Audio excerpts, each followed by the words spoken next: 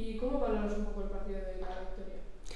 Bueno, gracias, Ainhoa. Eh, a ver, eh, la victoria para nosotros era bastante importante. Llevamos dos partidos donde creo que hemos merecido más, sinceramente, y, y quizá en el que menos hemos merecido los tres, bueno, menos, quizá por, por, sufrimiento y por, y por cómo hemos competido sí que lo hemos merecido, pero pero en el que menos, digamos, menos ocasiones claras hemos tenido, nos hemos llevado los tres puntos. Creo que nos hacía bastante falta para, bueno, porque porque el vestuario es joven, para seguir creyendo, para seguir eh, eh, con la idea clara que tenemos de, cómo queremos que sea este grupo y, bueno, ya, sabes que las victorias refuerzan todo eso. Bueno, eh, hasta el minuto 11 el dominio lo está teniendo el estado con más llegadas al área en varias ocasiones, pero tras el gol, bueno, tras ese, ese gol de cabo, esa, ese arreón, le ha dado como un poco más de superioridad al equipo y a partir de ahí el equipo es como ha sido otro. ¿Cómo valoras esa acción?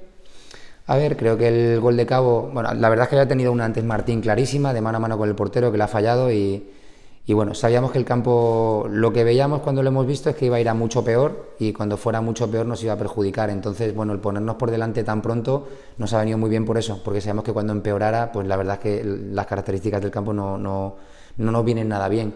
Entonces, al ponernos así, era un premio muy bonito y muy importante para nosotros y nos hemos, lo hemos defendido con uñas y dientes.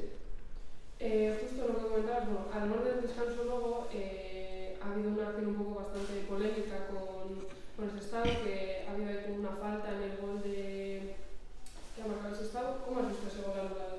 A ver, en el campo no lo he visto, lo he tenido que ver ahora y ahora cuando lo he visto, pues para mí es falta. Al final te apoyas en un jugador, no le dejas eh, disputar, tienes la posición ganada y, y para mí es falta. Es lo único que puedo, que puedo decir.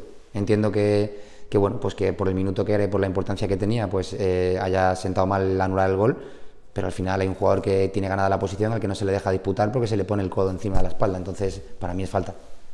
Y luego ya, bueno, eh, además de, del gol, Cabo creo que ha sido protagonista en muchas acciones que, que ha habido de peligro, no ha parado de intentarlo en todo momento hasta que ha sido sustituido.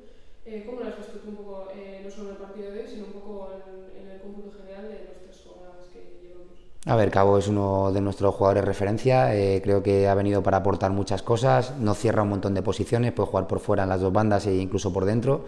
Y, y nada, eh, eh, tampoco solo te puedo decir que es el rendimiento que esperábamos de él, porque es, es muy buen jugador. Y bueno, ya por último, eh, un empate, una derrota y ahora una, una victoria, ¿cómo valora este inicio? Bueno, ya lo hemos hecho todo, ya, hemos probado todo, todo lo que teníamos que probar esta temporada. Eh, fundamentalmente lo que, lo que veo es que por, por, bueno, por la edad que tiene el grupo eh, tiene que aclimatarse y hacerse a la categoría cuanto antes y en eso estamos. Seguimos en un proceso de crecimiento, eh, seguimos creciendo, seguimos metiendo mejoras a, nuestro modelo de juego e incluso hoy hemos competido sin poder competir con nuestro modelo de juego, sino con otro totalmente diferente, más adaptado al campo. Entonces creo que poco a poco seguimos en esa línea de, crecimiento y bueno, y si lo seguimos premiando con, con, resultados, pues todo eso ayuda a que, a que los chicos sigan creyendo y estemos más cercanos a las posiciones donde queremos estar.